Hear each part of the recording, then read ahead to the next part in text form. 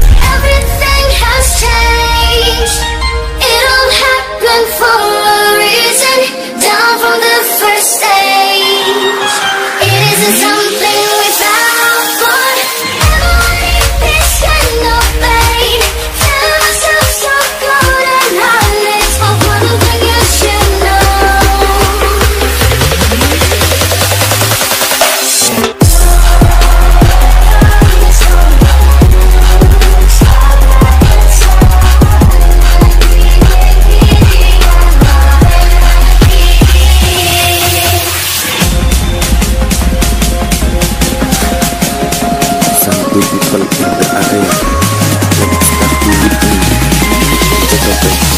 Let's